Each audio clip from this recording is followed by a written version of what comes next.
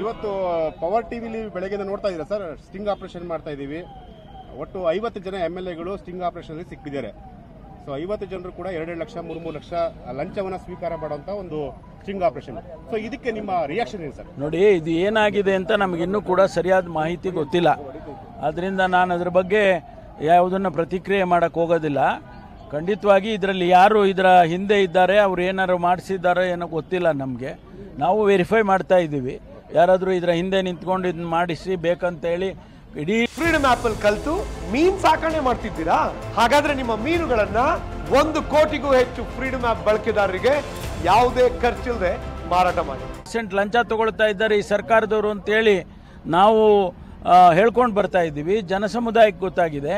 ಆದ್ರಿಂದ ಇದರಲ್ಲಿ ಏನು ಷಡ್ಯಂತ್ರ ಆಗುತ್ತೋ ಆಗಿದೆ ಅಂತ ಹೇಳಿ ನಮ್ಗೆ ಗೊತ್ತಿಲ್ಲ. ವಿ ಆರ್ ವೆರಿಫೈಯಿಂಗ್ ಇಟ್ ಈ ಒಂದು ಸ್ಟಿಂಗ್ ಆಪರೇಷನ್ ಅಲ್ಲಿ ಬಹುತೇಕ ಕಾಂಗ್ರೆಸ್ ಎಂ ಎಲ್ ಎಗಳು ಇದ್ದಾರೆ. ಎರಡೆರಡು ಲಕ್ಷ ಮೂರು ಮೂರು ಲಕ್ಷ ತಗೊಂತಾ ಇದಾರೆ ಸೊ ಅದರ ವಿಡಿಯೋಗಳನ್ನ ನಿಮ್ಮ ಅಧ್ಯಕ್ಷರಿಗೆ ಮತ್ತೆ ನಿಮ್ಗೆಲ್ಲ ಕೊಡ್ತೀವಿ. ನೀವು ಪಕ್ಷದ ವತಿಯಿಂದ ಯಾವ ರೀತಿ ಆಕ್ಷನ್ ಎಲ್ಲ ಕೊಡಿ ಕೊಡಿ ಆಮೇಲೆ ನೋಡೋಣ ನೋಡೋಣ.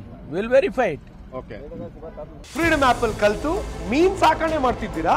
ಹಾಗಾದ್ರೆ ನಿಮ್ಮ ಮೀನುಗಳನ್ನ ಒಂದು ಕೋಟಿಗೂ ಹೆಚ್ಚು ಫ್ರೀಡಮ್ ಆಪ್ ಬಳಕೆದಾರರಿಗೆ ಯಾವುದೇ ಖರ್ಚಿಲ್ಲದೆ ಮಾರಾಟ ಮಾಡಿ.